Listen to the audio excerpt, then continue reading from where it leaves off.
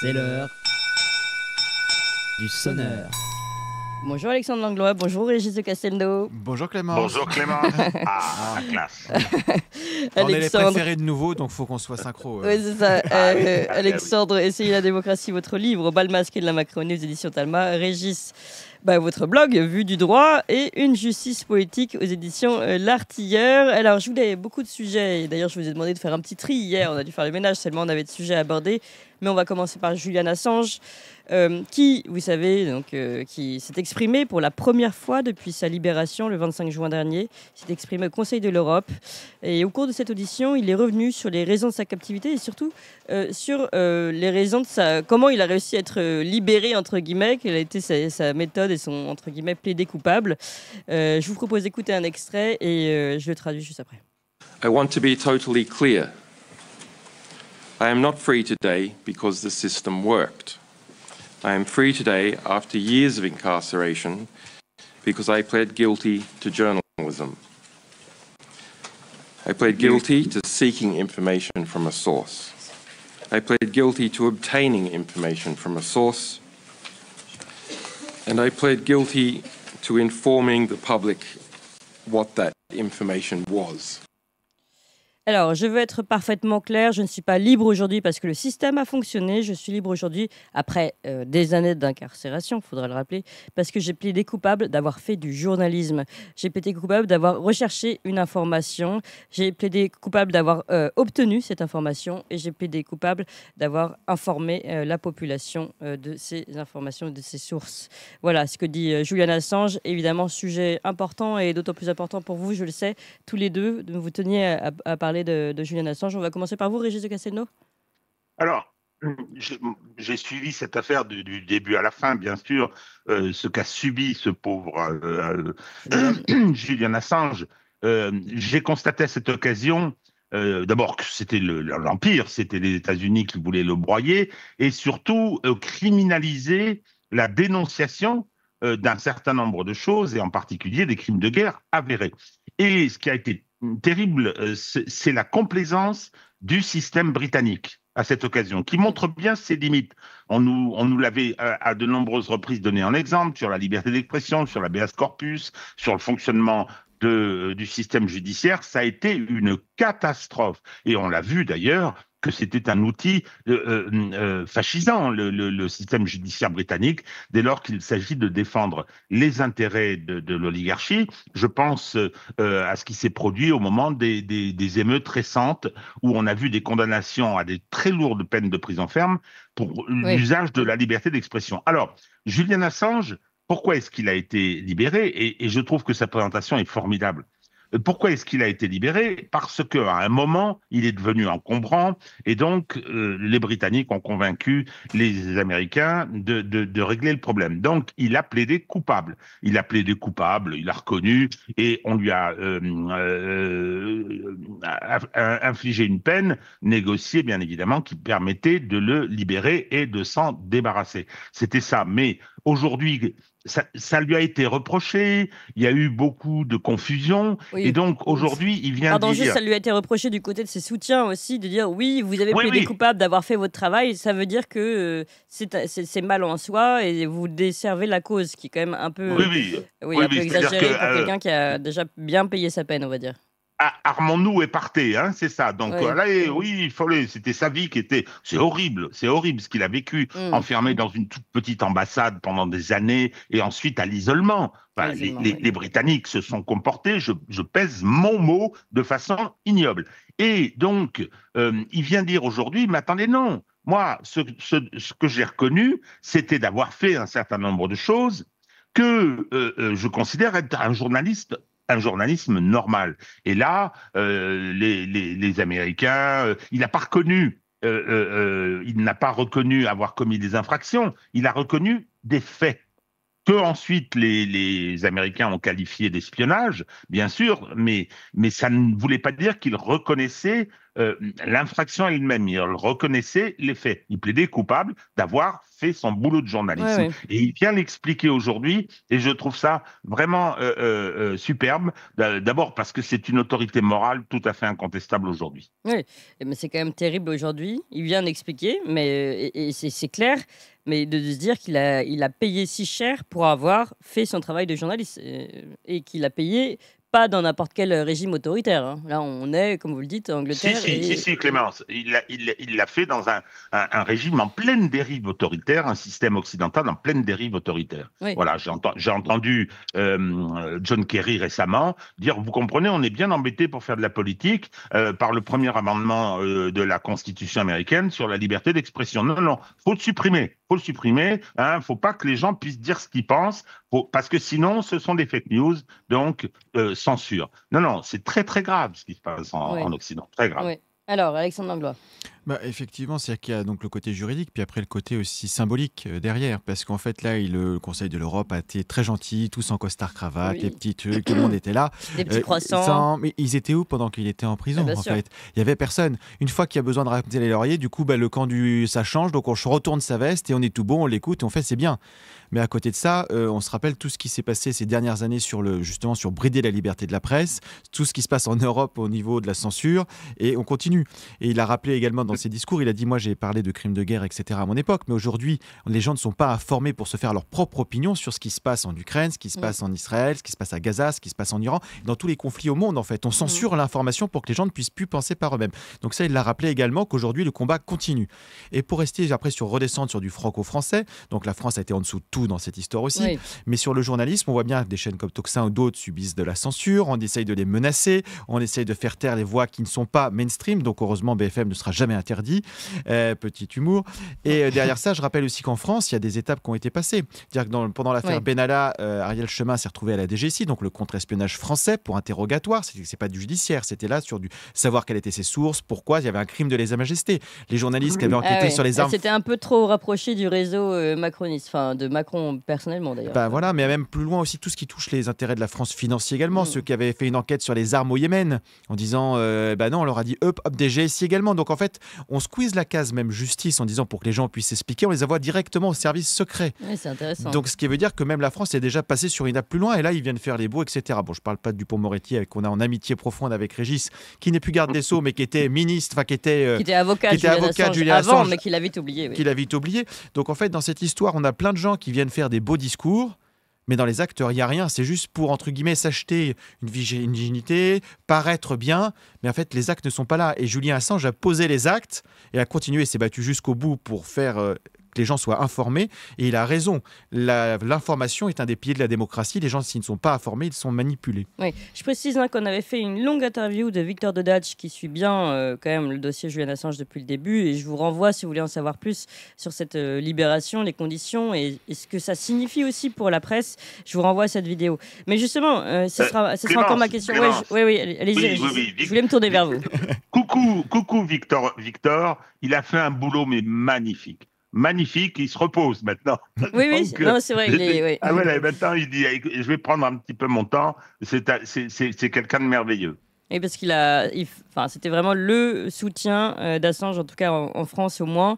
Euh, et il a vraiment organisé ce, réseau de, défense et de, de, défense et de visibilité aussi de ce qui est de la cause de Julian Assange. Mais euh, à ce sujet, et c'est une question que je posais à Victor Dedage, le problème aujourd'hui avec ce PD coupable, c'est euh, qu'on on voit où on en est euh, en Occident. Je veux dire, le, message est bien passé. Euh, on voit combien de temps il a, passé en prison, combien de temps il risquait encore, toutes les menaces, sa, vie pendant plus d'une dizaine d'années pourrie. Et évidemment, ça donne pas trop envie en fait de faire du journalisme et de faire de l'enquête et de dire la vérité tout simplement. Et, au-delà même de la personne de Julian Assange, quelle, quelle, euh, je dire, quelle euh, fenêtre ça ouvre pour la suite pour le journalisme, en fait, euh, Régis de Castelnau? Je crois que je l'ai dit sur cette antenne, Clémence, ça, ne crée pas une jurisprudence. Un plaidé coupable ne crée pas une jurisprudence. C'est un accord entre l'autorité de poursuite, le procureur et la personne poursuivie. Donc, euh, ça n'est pas une décision dont euh, peuvent se prévaloir les, euh, ensuite les juges qui auront à juger des affaires similaires, en disant voilà, bon. Donc, mais sur ben, l'écho que, si vous voulez, sur l'image que ça renvoie et l'écho que ça donne dans le milieu de la presse, ça, peut quand même inquiéter, je, sans parler de jurisprudence. Ben, ce, qui, ce, qui, caractérise la presse en France, c'est quand même la lâcheté. Hein. Donc, euh, effectivement, ça n'a pas dû arranger les choses. Euh, la preuve, hein, euh, il n'a pas été défendu par, par ses confrères en France. Mm. Donc, non, je, je, pense que le, le, le, danger, il ne provient pas de cette solution qui a permis de lui sauver la vie, parce que c'est de ça qu'il s'agit. Oui. Et, et, et, voilà. Et donc, par conséquent, le combat doit continuer. Le combat doit continuer. Ça ne crée pas, pour moi, hein, ça ne crée pas un précédent. Alors, c'est peut-être l'avocat qui parle, hein, parce non, que... Non, mais vous avez raison de rappeler en, juridiquement. Là, je parlais pas juridiquement, mais, euh, je parlais sur l'image et le... Voilà. justement, il en a parlé dans, pendant qu'il était au Conseil de l'Europe. Il a dit, ma naïveté, je le cite, est résider dans ma croyance en la loi. En fin de compte, les lois ne sont que des morceaux de papier. elles peuvent être réinterprétées à des fins politiques.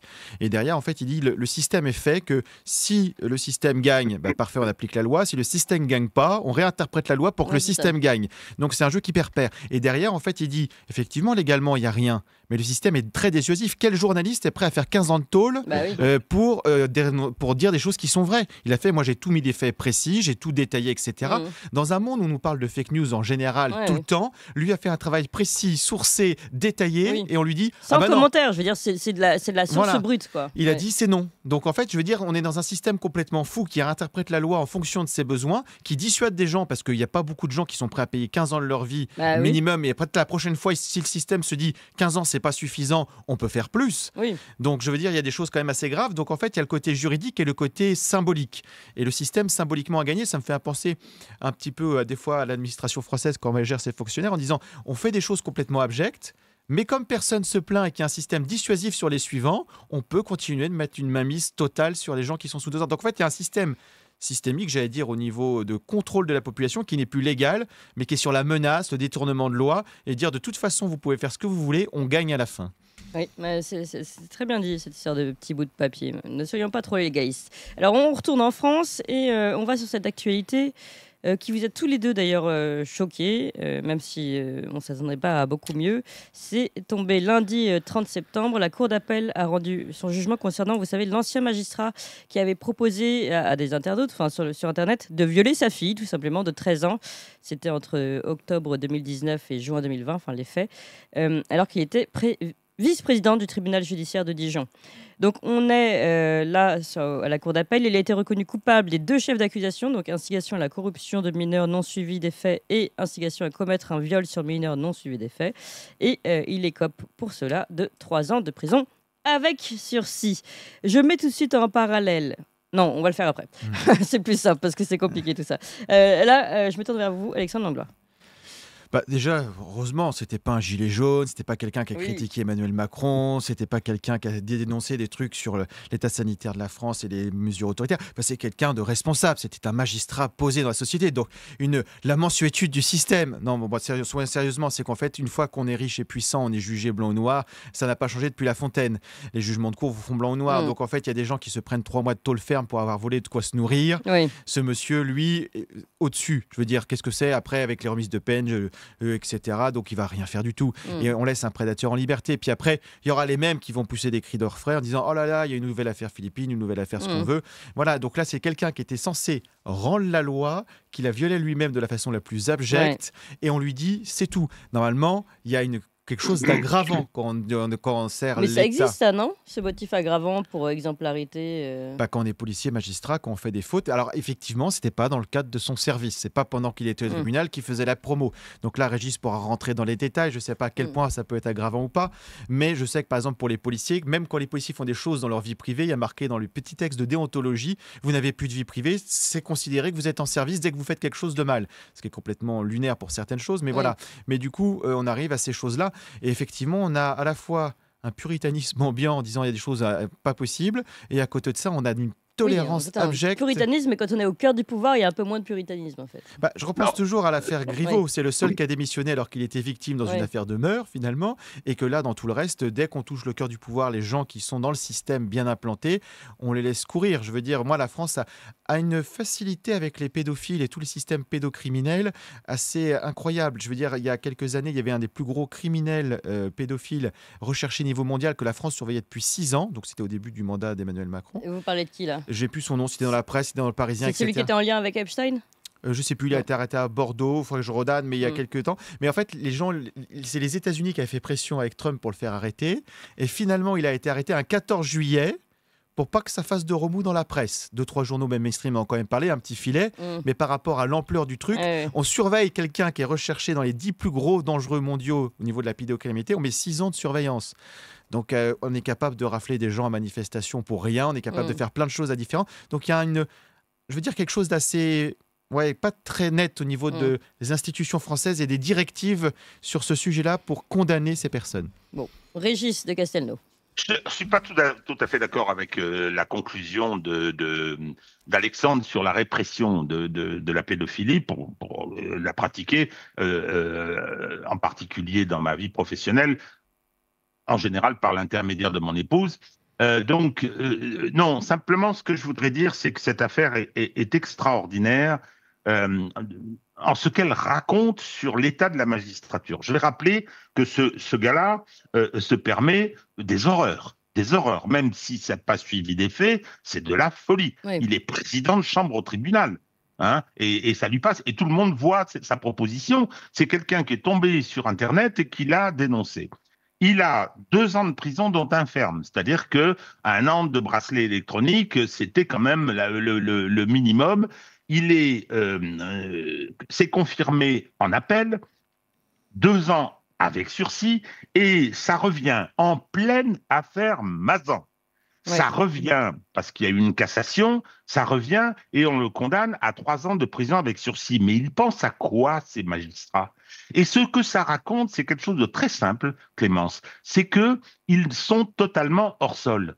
Il, euh, vous voyez le message, euh, il est terrible. Il est terrible de cette euh, autoprotection en pleine affaire Mazan qui, parle de la même chose, soyons clairs. Il parle de la même chose. L'autre, il proposait sa femme aux internautes. Lui, il a été jusqu'à proposer sa fille.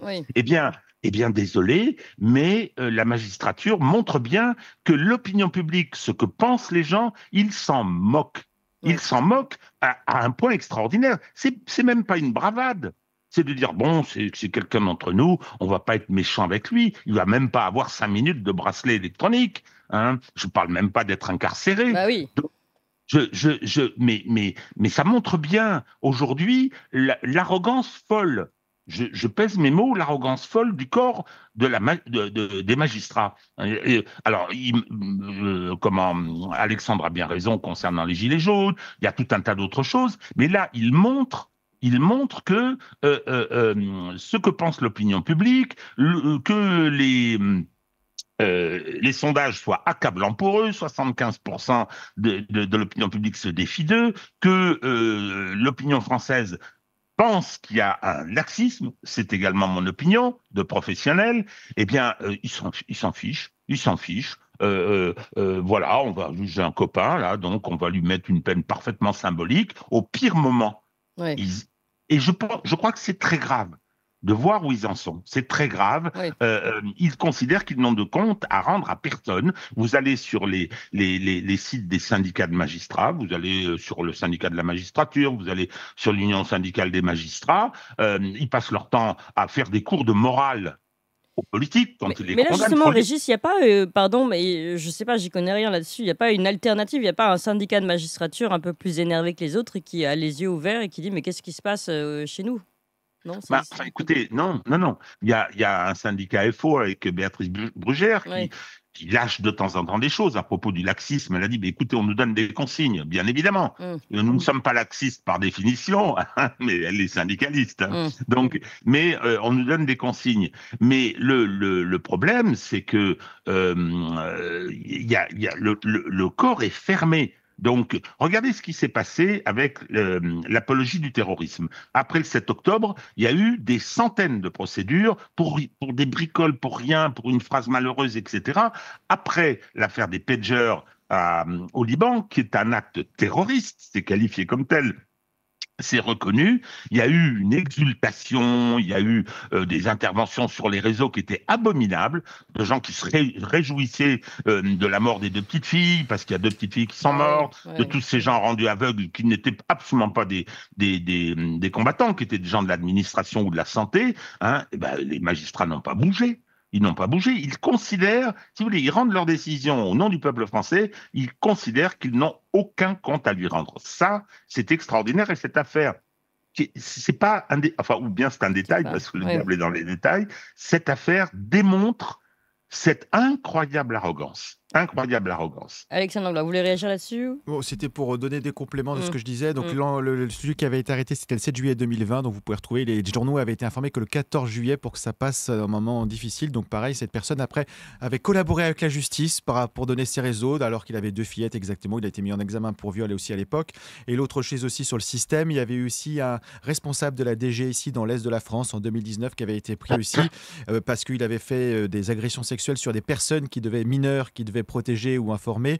Résultat des courses, il avait été juste condamné à deux ans de sursis pour détention d'images pédocriminelles sur son ordinateur. sursis, quoi. Donc en fait, sur ça, dès qu'on est dans le système, on n'avait pas de problème. Et à l'époque, pour la DG6, le parquet s'était offusqué, avait fait appel encore. J'ai pas la dernière décision, mais en tout cas, le parquet avait pas trouvé ça normal. Mais les juges mm. avaient trouvé que c'était c'était suffisant parce qu'en fait, comme il était tombé amoureux de la personne qui était mineure, c'était pas grave. Bah oui. Voilà. Roméo et Juliette. Voilà. Euh, ça nous fait penser à d'autres choses.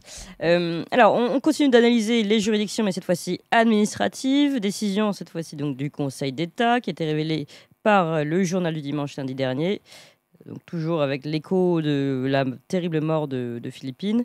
Euh, il s'agit donc d'une décision donc, du Conseil d'État qui a donné raison, lui, à la Cour nationale du droit d'asile la CNDA, qui avait décidé d'accorder le statut de réfugié à un Algérien de 31 ans. Donc euh, vous êtes en France, on donne en France le statut de réfugié à un Algérien de 31 ans, euh, alors que celui-ci avait quand même un passif euh, lourd, puisqu'il avait été condamné à 4 ans d'emprisonnement en 2019 pour des faits d'agression sexuelle sur un mineur de moins de 15 ans. Donc on est là sur un condamné qui, avait fait, des agressions sexuelles sur mineurs, mais euh, qui a été euh, reconnu comme réfugié par cette cour parce que les juges de la CNDA euh, avaient considéré que sa transition de genre, parce que cet homme-là faisait une transition de genre, eh bien, pouvait le mettre en danger dans son pays d'origine, enfin dans son pays, l'Algérie, en raison donc de sa nouvelle sexualité. Voilà ce qu'expliquent les juges de la CNDA. Et donc le, Conseil d'État a donné raison à, à cette Cour nationale du droit d'asile. Et là, évidemment, pareil, on se demande ce qui se passe et où on veut vraiment aller parce que c'est quand même remettre euh, une citoyenneté à quelqu'un qui paraît avoir un profil dangereux en France. Et tout ça, euh, évidemment, en écho avec ce qui s'est passé avec euh, Philippines. Je commence par vous, Alexandre Langlois. C'est assez choquant. Voilà, une fois de plus, c'est que on a des discours politiques, une fois de plus, avec des gens qui disent on va être très ferme, on va faire plein de choses. Donc ça, je laisserai Régis développer. derrière, quand le ministre de l'Intérieur peut faire des bravades dans tous les sens, finalement, les juges ont le dernier mot derrière. Donc si le système ne veut pas quelque chose, il peut le bloquer derrière, quels que soient les discours de façade. Et la deuxième chose derrière, c'est que euh, là, au motif de il dénature en fait le droit de le droit d'asile et le droit des réfugiés. C'est-à-dire que là, il y a quelqu'un qui est dangereux pour notre société, qui a déjà été condamné, mais il retourne chez lui en fait, quel que soit. Je veux dire, pourquoi on doit garder des prédateurs chez nous alors que d'autres pays ils peuvent ils peuvent les récupérer. Et en fait, la France est en train de dévoyer ce droit d'asile où des gens on va reprendre un petit rebondissement. Julien Assange méritait le droit d'asile, il ne l'a jamais obtenu, par exemple, et tant d'autres, ou tant d'autres aussi euh, qui mériteraient, qui ne l'ont pas. Et puis, pour des raisons, je ne sais lesquelles, tellement obscures, on garde des prédateurs et des gens dangereux. Donc, en fait, on est sur quelque chose, une fois de plus, où Là, c'est l'inverse de, par exemple, de l'histoire de Philippines où on avait mis beaucoup de focus sur l'OQTF qui était du droit administratif en oubliant le pénal. Et là, le droit administratif va au-delà du droit criminel. C'est-à-dire qu'on a quelque chose, normalement, le criminel est ce qu'il y a de plus lourd, etc. La décision administrative, je devrais dire, bon, bah, il dégage. Et c'est quelqu'un de dangereux. Et non, ce n'est pas ça. Il va rester sur le territoire. Et donc, c'est dramatique derrière. Et moi, j'aimerais bien que cette personne, du coup, vive dans le quartier des juges qui l'ont relâché. Mais non, bien évidemment, ce ne sera pas dans ce quartier-là. Oui, et puis attendez, allez plus loin parce que, euh, mais là, je me tourne vers vous Régis, tout à l'heure, vous me, dites, vous me rappeliez, vous avez bien raison, que pour l'affaire de Julian Assange, il n'y avait pas de jurisprudence sur le pied des. En revanche, là, On est bien d'accord avec le Conseil d'État, il y a jurisprudence. Donc n'importe qui qui veut être réfugié, mais c'est facile. On dit moi mon pays c'est un pays euh, euh, a priori euh, musulman qui, rejette la transition de genre. Vous faites en plus une transition de genre payée par la sécurité sociale et vous, vous dites que vous êtes en danger dans votre pays. C'est la porte ouverte d'abord à, toutes ces, à, à toutes ces demandes d'asile. je ne sais pas ce que vous en pensez là-dessus. C'est vraiment une jurisprudence très forte, Régis. Moi, j'ai connu le, le, droit d'asile, c'était de la protection politique. Lorsqu'après le coup d'État d'Allende, un certain nombre de Chiliens sont venus en France, ils ont euh, euh, euh, bénéficié de ce droit d'asile. C'est logique. Là, maintenant, il a été étendu, c'est complètement extraordinaire, à tout et n'importe quoi. Cette affaire, elle est très intéressante parce que le juge administratif, il a arbitré entre deux protections. Hmm. Il a considéré protéger les citoyens français d'un prédateur, parce que c'est un prédateur avéré. La, récidive pour ce genre de délinquance est toujours extrêmement probable. Bon, alors après, il y en a qui peuvent s'amender, c'est possible, mais on a référé la protection de ce délinquant, la protection de ce, délinquant sexuel euh, par rapport à son pays d'origine. C'est pas nos affaires, la façon dont, dont l'Algérie euh, considère ce problème, c'est pas nos affaires. Hein. Donc là, il s'agit d'un problème de mœurs, il s'agit d'un problème peut-être de santé aussi, mais il ne s'agit pas d'une protection politique. Je, suis désolé. Et donc, les magistrats de, notre cher Conseil d'État, euh, ils ont dit non, non, on va protéger cette personne qui est un délinquant sexuel avéré, qui a déjà fait subir des choses, enfin des, des euh, infractions à des mineurs en plus, hein, et euh, euh, on va le protéger. En revanche, la population française, elle passe en second. Cet arbitrage, il est, je, veux dire, extraordinaire, quoi. C'est extraordinaire. Donc, euh, sur le plan juridique, ne pas le lui accorder, parce qu'après, où est-ce qu'il va aller si on ne lui euh, accorde pas l'asile politique en France? Il y a plein d'endroits où il, peut aller se faire prendre s'il veut. Donc, euh, il n'est pas obligé de retourner dans son propre pays, je ne sais pas dans quelles conditions, mais non, non, non. On préfère protéger quelqu'un de son pays d'origine et de euh, sa, sa, politique, euh, sa pratique euh, d'un certain nombre de questions, plutôt que de protéger le peuple français. Mm. Si vous prenez l'exemple aujourd'hui des Afghans qui sont venus et qui, ont, qui commettent très souvent des, parce qu'ils ne sont pas intégrés, des infractions sexuelles, bien pire, des décapitations, etc. Hein, on dit non, non, non, attendez, il faut d'abord, ce qui est prioritaire, c'est pas de protéger la population française, c'est de, les protéger d'un retour en Afghanistan, euh, dans l'Afghanistan des talibans, hein, dont, dont l'Occident s'est fait foutre dehors il y a deux ans, après 20 euh, ans. Hein, Donc, euh, non, moi, je, je, je, trouve cette décision terrible en ce qu'elle raconte Bon, je dis du mal des magistrats de l'ordre judiciaire à propos de, l'affaire précédente. Là, je dis du mal des magistrats de l'ordre administratif. Ils sont totalement inconscients. Comme ça, tout le monde est gâté. Un petit point de désaccord avec Régis, il faut bien ah. de temps en temps. C'est sur le fait que le pays d'origine qui s'occupe des mœurs ou pas, ça, moi, ça me semble important de protéger certaines personnes qui peuvent être persécutées chez elles en raison de leur orientation, de leur mœurs ou de leurs idées politiques. Mais là, ce qui est grave, c'est qu'en fait, c'est pas ça le critère prioritaire. Le critère prioritaire, c'est que des gens, c'est des criminels. Hmm. Donc, une fois qu'ils ont pu européenne, quelles que soient les choses, en fait, on s'en fiche. En fait, ils ont commis un crime chez nous, ils retournent chez eux, on n'a plus à protéger ces gens, en fait. C'est ce critère numéro un, en fait. Quelqu'un commet un crime, il purge sa peine chez nous parce qu'il doit payer sa dette, puis après, il dégage, quelles que soient les autres raisons, en fait. Il n'a pas voulu venir vivre avec nous. Il a voulu mettre en danger notre communauté. Il a donc quelles que soient les raisons derrière, même si chez lui, il est dans l'opposition politique, il y a différentes raisons qui peuvent le mettre en danger, il n'y a pas de raison qu'on garde un prédateur ou quelqu'un dangereux pour notre population. Voilà, alors que quelqu'un qui peut dire, moi, je suis super persécuté chez moi pour telle ou telle raison, mais qui ne met pas en danger la population française, le débat est complètement différent. Là, il y a quand même des crimes derrière. Oui, oui. oui non, non, attendez, attendez, je ne suis pas d'accord. Euh, je ne suis pas d'accord, Alexandre. Je ne suis pas d'accord parce que le critère de l'asile, c'est pas de dire mon État est méchant, donc faut me donner l'asile, je veux plus y habiter. Dans ce cas-là, euh, euh, euh, l'ensemble des femmes iraniennes qui n'ont pas envie de porter le voile, elles peuvent venir. Les, Afghans qui veulent se mettre à l'abri des talibans peuvent venir. Non, il faut être persécuté chez soi.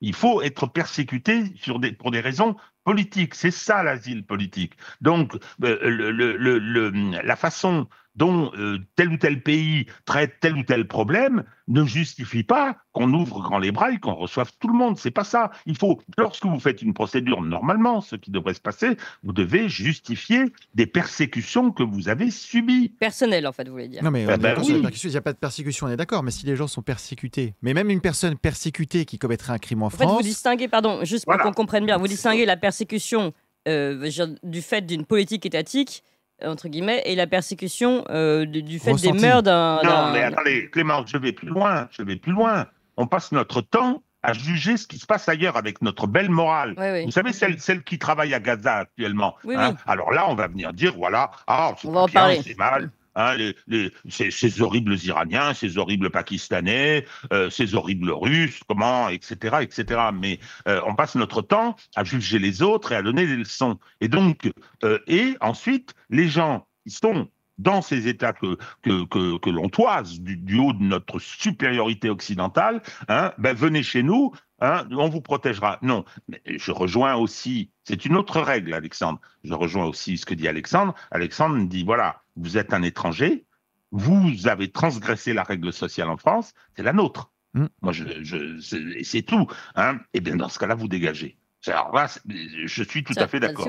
Ah, oui, politique ou pas, vous partez. Non, mais c'est ça. En fait, c'était juste le fait qu'on ne confonde pas le fait qu'il y a d'un côté une procédure administrative, et là, on peut en débattre, etc. Mais l'autre côté, c'est criminel. Et là, que la personne soit persécutée ou pas dans son pays, c'est pas le problème. Question, en, fait, il n'y a pas de raison que nous on subisse des persécutions de quelqu'un qui veut pas vivre avec nous, avec C'est exactement ce qu'on nous dit dans le chat. On dit finalement aujourd'hui, c'est nous qui sommes persécutés sur notre propre territoire. Voilà ce que, ce que disait, je sais plus, je crois que c'est Barracuda. bon, euh, bah, bah, Barracuda, les autres, pouvez continuer d'ailleurs de commenter et de mettre vos pouces, vos cœurs et les étoiles si vous nous écoutez en podcast. Alors, je vous fais écouter, tiens, Barnier, on parle toujours de protection et de fermeture des frontières. Euh, notre euh, Premier ministre qui a donc, vous l'avez bien suivi, prononcé son discours de politique générale. Et tiens, ça, on n'avait pas encore parlé jusqu'à maintenant. Il avait indiqué qu'il allait restreindre davantage les visas pour les pays qui ne reprennent pas leurs ressortissants expulsés et souhaite faciliter la prolongation exceptionnelle de la rétention des étrangers en situation irrégulière. J'ai l'impression que c'est pas la première fois qu'on entend ce genre de vœux. On l'écoute.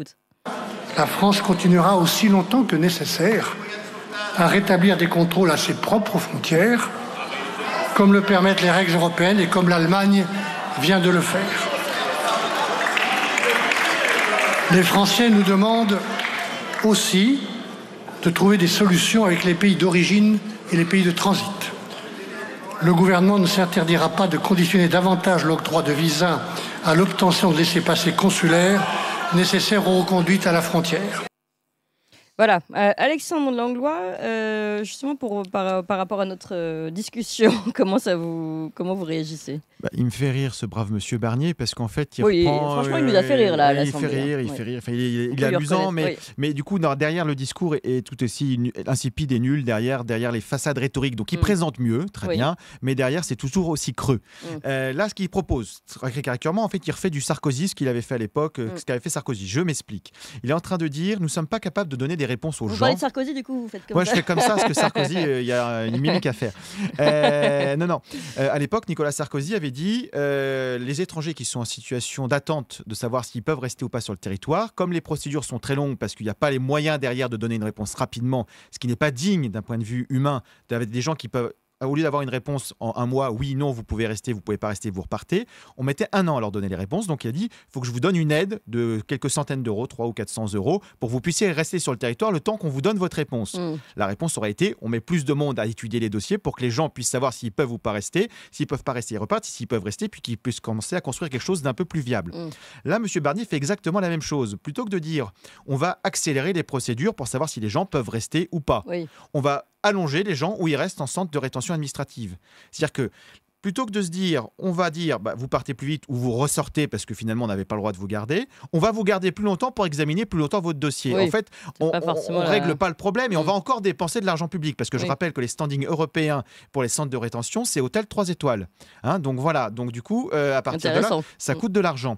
Donc en fait, il va rien faire du tout. Donc en fait, il est en train de dire, on va renvoyer des gens chez eux et ce qu'il est en train de proposer, on va les garder plus longtemps frais de la princesse, mm. sans bah leur donner une réponse réelle parce qu'en fait, il y a des gens qui seront relâchés parce qu'on n'avait pas le droit de les garder parce qu'ils remplissaient les critères, et d'autres qui auraient dû partir plus vite, qu'on va payer. Donc dans les deux cas, on perd de l'argent public. Donc en fait, il est en train de faire quelque chose de complètement lunaire euh, sur les choses. Et je rappelle que sur les problèmes de reconduite frontière, etc., toutes les procédures incluses, etc., il y avait il y a, 10 ans, les gens avaient fait un calcul, ça coûte à peu près 60 000 euros par reconduite frontière.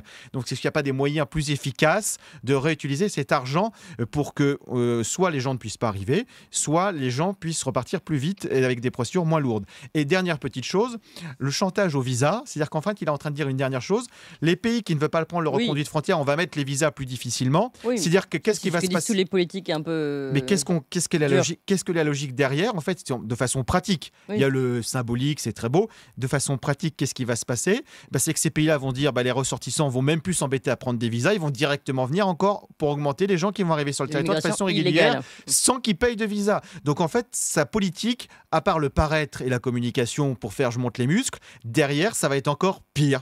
Oui, en fait, vous voulez dire qu'on condamne ceux qui veulent bien faire. On bah, euh, exactement, on condamne ceux qui veulent bien faire, donc on va les inciter à plus mal faire parce qu'ils ne sont pas responsables de la politique de leur État en soi. Hein. Et il y a des gens qui veulent respecter les règles, donc on va dire on va vous pénaliser, donc vous allez venir de façon illégale, donc on va augmenter l'illégalité. Ça ne va pas résoudre les problèmes consulaires. Mmh. Et de l'autre côté, il dit. Je précise que les visas euh, français, d'ailleurs, quand on veut faire les choses euh, proprement, c'est compliqué.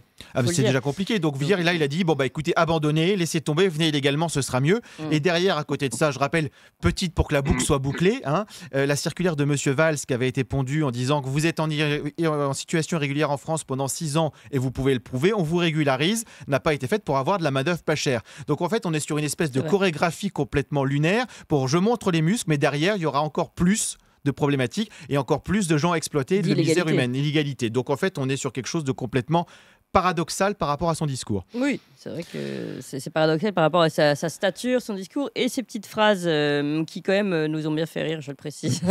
Régis de Castelnau. Alors, trois observations. Je commence par une méchanceté. Ah. Euh, quand j'entends, quand j'entends notre Biden à nous venir dire euh, euh, la France dira, la France fera, etc. L'usage du futur mm. dans un gouvernement qui représente un parti qui a fait 6% aux élections, je trouve que c'est un petit peu audacieux. Bon, c'était de la méchanceté. Donc Barnier, c'est Biden pour vous? Non, je dis ça parce qu'on voit, il, présente bien, il porte bien, etc. On a exactement le même âge. Hein je vais vous dire. Donc, pour l'instant, je, ne suis pas encore dans l'état de, de Biden, heureusement. Euh, sinon, vous me, vous, me congédieriez et vous auriez raison. Le, la deuxième observation, la deuxième observation, c'est que c'est toute cette hypocrisie extraordinaire. On a à la tribune de l'Assemblée, là, on a le pire des européistes. Le pire, c'est toute sa vie a été consacrée à l'intégration européenne. C'est un Maastrichtien fanatique sympathique, mais fanatique. Euh, donc, et là, tout ce qu'il nous raconte concernant le, traitement de l'immigration, le traitement des frontières, n'est pas possible dans le cadre européen où nous nous trouvons. Hein. Et en plus, il, a rajouté, euh, il, a rajouté, il le sait, mais cette contradiction est tout à fait insurmontable, euh, surtout que je l'ai bien entendu dire à Rotaillot, euh, l'état de droit c'est tellement merveilleux, l'état de droit, l'état de droit, l'état de droit, l'état de droit c'est von der Leyen qui commande, puis c'est tout. Hein bon, la troisième observation, alors ça c'est, euh, on va, on va être sévère sur les visas. Oh là là, Hein, le gouvernement algérien est plaqué au sol. Le gouvernement marocain n'en peut plus de pleurer. Les pays africains non plus. Enfin, écoutez, ceux qui ne veulent pas reprendre leurs euh, nationaux, eh bien, on a une politique de sanctions vis-à-vis d'eux. C'est tout. On, montre les muscles. On dit. on fait quoi comme euh, sanction? Les visas, c'est pas assez fort. On a compris. Euh, bah, c'est pas à propos. Ah bah ça va engendrer plus de problèmes. non, mais attendez, on a plein d'accords de coopération. On a, on a de l'aide au développement. On a, euh, on a beaucoup de choses. On a des programmes d'éducation. On a des programmes. mais c'est bien d'ailleurs. Je suis partisan de cette coopération. Ben, on dit, vous voulez pas? Très bien, on coupe on coupe les, on coupe les robinets. et puis, et puis, ça et puis, faire un peu d'économie. Mais attendez, et puis euh, on fait un peu de protectionnisme. Alors bon, hein, la, fameuse la pâte à tartiner, là, ça a fait tout un tas d'histoires euh, d'origine algérienne, elle euh, bon, je crois que c'est pour des raisons de santé. Je n'ai pas bien suivi le problème. Oui, de lait, mais, oui. donc, mais le problème, c'est que si vous voulez, on fait preuve de fermeté. C'est tout. On a une mm. diplomatie pour ça. On dit, vous les reprenez.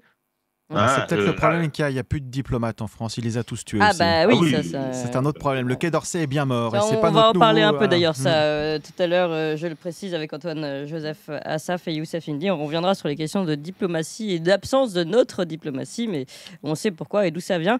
je fais aussi une précision. On manque de couleurs là, de pouces, de cœurs, de, de, tout ce que vous voulez. Qu'est-ce qu'il faut d'autre Des pouces, Il faut, des, likes. voilà. Nous dit le réalisateur. Il faut des likes. Donc n'hésitez pas à liker si vous aimez cette émission, évidemment. Alors, on compte sur vous en tout cas et on continue. On va parler d'un sujet qui vous touche tous les deux, évidemment. La vidéosurveillance en garde à vue va devenir exceptionnelle. Alors, petite, euh, on récapitule cette histoire. Euh, vous savez que pour le moment, depuis la loi de 2021, la vidéosurveillance dans les cellules de garde à vue était possible.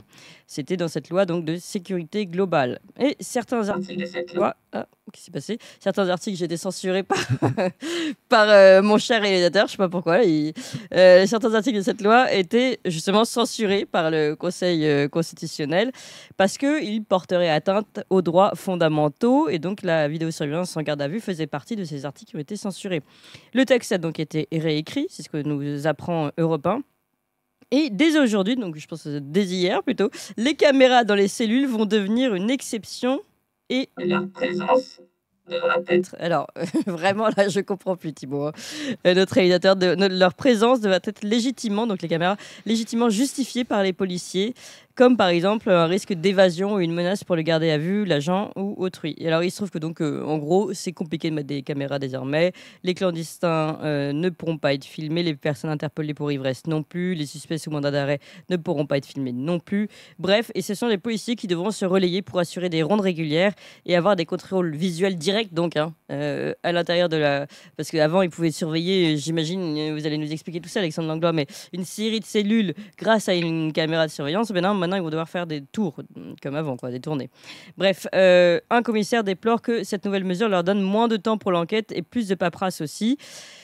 Et au passage, je vous rappelle qu'on a eu aussi cette information sur la vidéosurveillance. Et là, pour le coup, pour surveiller les Français, pas de problème puisque euh, le gouvernement, c'est un faute du JDD d'ailleurs, le gouvernement envisage, on apprend, hein, de généraliser la vidéosurveillance algorithmique. Vous savez, celle qui a été soi-disant expérimentée pendant les JO. Bon, je vous rappelle, et je vous renvoie à une vidéo qu'on a déjà faite ici avec Fabrice Pelboin et Diego Hidalgo, que en fait, cette expérimentation pour les JO était déjà en expérimentation depuis 7 ans et que les JO ne servaient que de prétexte pour l'officialiser.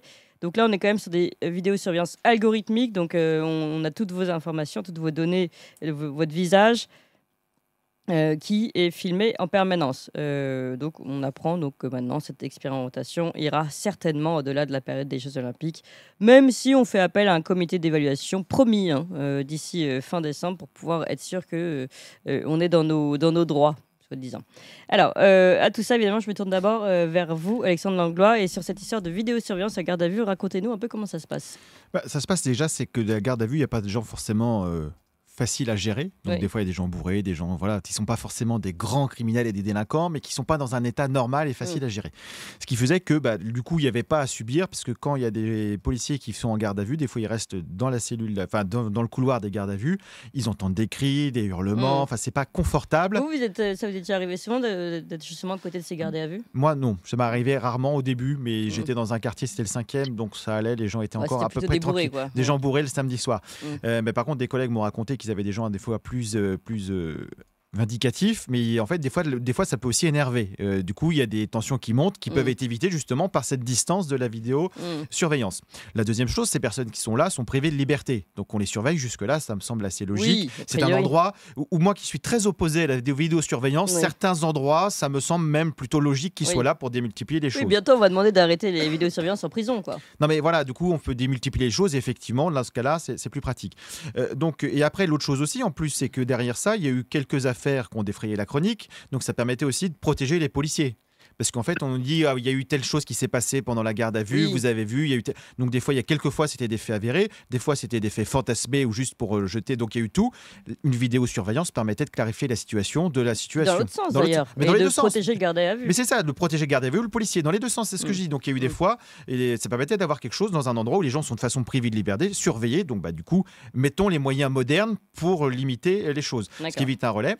Et en parallèle, moi, ce qui me fait réagir à côté de ça, c'est qu'effectivement, pour des gens qui sont délinquants au minimum, qui sont là, eux, ils ont le droit d'avoir un petit respect de la vie privée. Par contre, la population dans sa globalité, elle doit être surveillée. Donc en fait, on est sur une population qui doit, on fait un gouvernement qui fait du contrôle social et de la surveillance de masse, mais qui protège les délinquants. Une fois de plus, c'est dramatique. Parce que sur les JO, en fait, effectivement, ça sert bien de prétexte. La loi de base disait que c'était jusqu'à mars 2025, donc on voit bien que les JO étaient déjà plus là. Mm. Et là, ils se retranchent en disant, côté, une fois de plus, sous ce gouvernement et c'est toute cette classe politique moi je les pense, c'est des pourris tout simplement, se retranchent sur le côté légal. Parce qu'ils disent, légalement, on va consulter quelque chose, un organe consultatif d'évaluation qui va nous donner un truc. Et donc s'ils nous disent que c'est possible, on, continuera. Bah oui. Mais alors qu'en fait, du coup, c'est qui qui fait la loi C'est qui qui a mis en place ce comité? C'est eux. Donc en fait, ils nous font un jeu de dupes pour dire, nous, on respecte les formes, mais alors, par contre, la légitimité, zéro.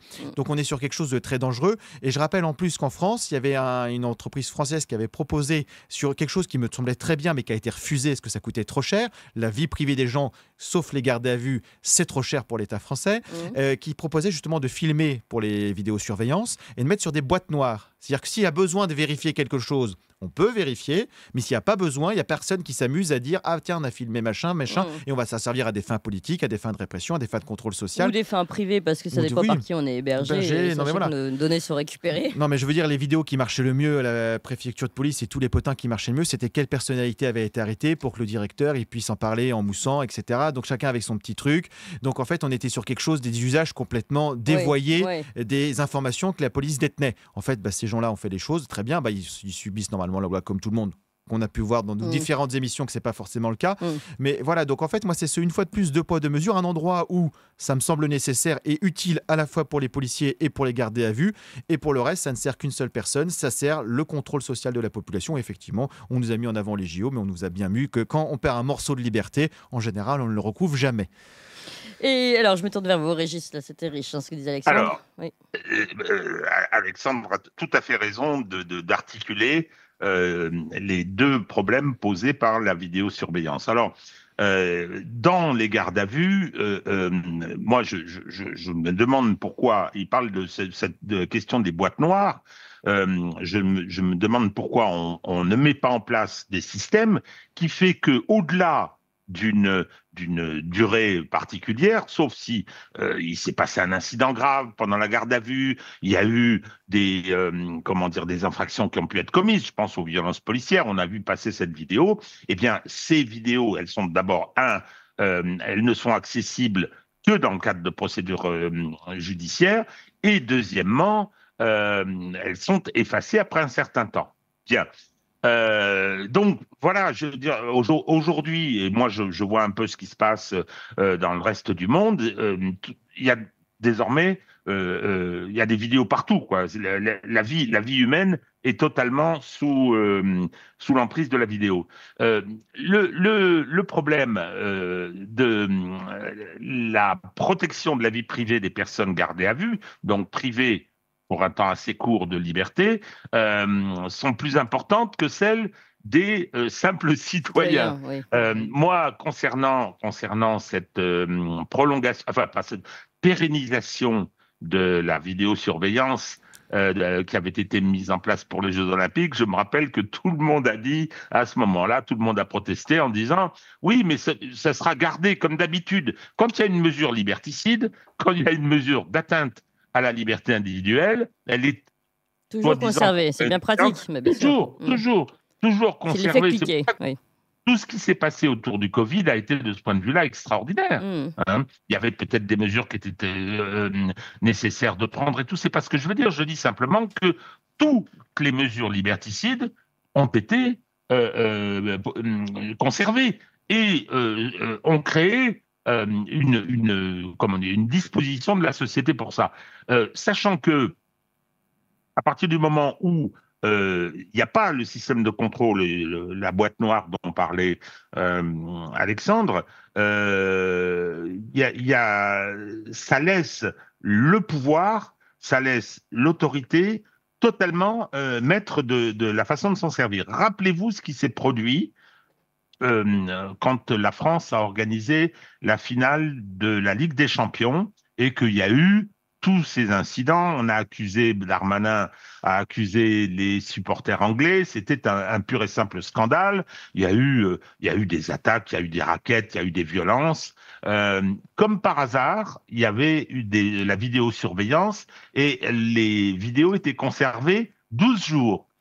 Le parquet a oublié d'en demander la saisie et de les récupérer. Elles ont été effacées. Oh, quelle surprise Quelle grosse surprise hein Comme ça, ça a permis à Monsieur l'Allemand, le, le, le, le, le préfet de police et à Monsieur Darmanin de déverser leurs mensonges sans être ensuite euh, contredit. Donc les rares fois, si vous voulez dire, où les, les, vidéos peuvent être utiles, elles, disparaissent. Ou elles s'éteignent, hein, d'ailleurs, pour la mort d'Epstein. Pas, pas de, vidéos. Choses, Ou alors, voilà ce que je disais, c'est qu'on regarde des petits dossiers. Parce que par exemple, dans l'affaire Benalla, à l'inverse, on avait découvert que le directeur de la DOPC conservait sur CD, au-delà de tout cadre légal, euh, les trucs. Mais par contre, ça, depuis, on a dit c'est pas bien, mais ça n'a pas été refait depuis. On n'a pas mm. dit est-ce qu'on fait un petit audit, comment ça fonctionne. Donc en fait, il y a comment sont données ces données. Et derrière aussi, en plus. C'est vrai que c'est inquiétant cette histoire, c'est les vidéos enfin no, comme si j'étais en garde à vue tous les jours. Mais... Donc euh, voilà, et après il y a le, il y a le aussi dans la deuxième chose ensuite, en plus sur les vidéos surveillance des détenus, c'est un être humain qui est derrière, qui est derrière la vidéo, alors que les, les vidéos algorithmiques, c'est l'algorithme qui prévient la personne. C'est-à-dire que le gouvernement derrière dit qu'est-ce qu'on dit, qu'est-ce qui est dangereux pour l'algorithme. Mm. Donc, euh, imaginons, je caricature à outrance, et on dit, bah voilà, quelqu'un porte un gilet jaune, c'est quelqu'un de dangereux. Donc, mm. dès qu'il y a quelqu'un qui aura un gilet jaune, hop, euh, intervention, parce que la caméra l'aura dit. Il n'y a plus ce libre arbitre humain qui permet d'adapter la situation. Donc, en fait, on est encore sur quelque chose où la centralisation du pouvoir et de la surveillance de masse est concentrée dans les mains d'un tout petit nombre sans laisser la prestation aux agents sur le terrain. Mais à part le gilet jaune, vous voyez quoi pour, euh, comme critère? C'est compliqué quand même pour un...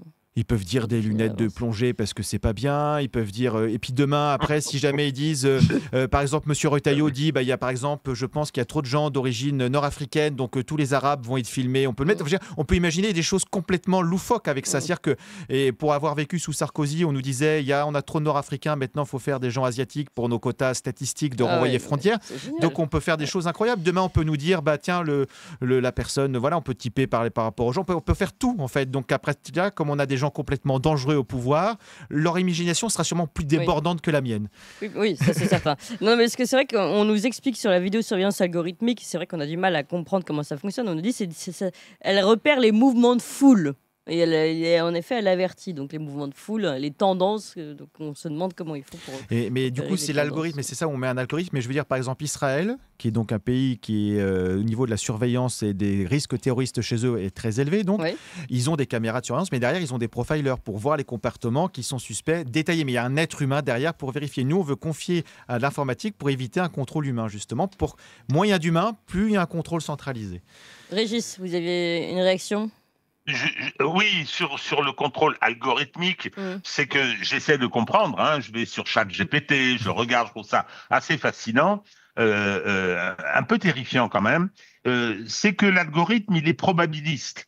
C'est-à-dire que lorsqu'il fait une évaluation, il fait un calcul. Et, et, et lorsqu'on pose le problème de la reconnaissance faciale, sur la couleur de la peau, par exemple, sur euh, certains traits distinctifs et les, et, et, les caméras sont extrêmement puissantes de ce point de vue. Hein, on va, euh, euh, à, à, partir de l'identification, par exemple, euh, d'un faciès particulier, il y aura un calcul statistique. Hein. Donc, si on part des statistiques euh, de, de, la délinquance des populations d'origine immigrée, euh, qui est une réalité oui, oui. statistique. Oui, mais après, c'est Minority Report, on ne peut pas reporter à tout le monde. Bien sûr, non, mais, mais absolument. Hein, mais c'est ça. C'est-à-dire, et alors, on reconnaît des mouvements de foule, on dit celui-là peut déboucher sur et, et, sont des calculs. Alors la machine est alimentée en permanence.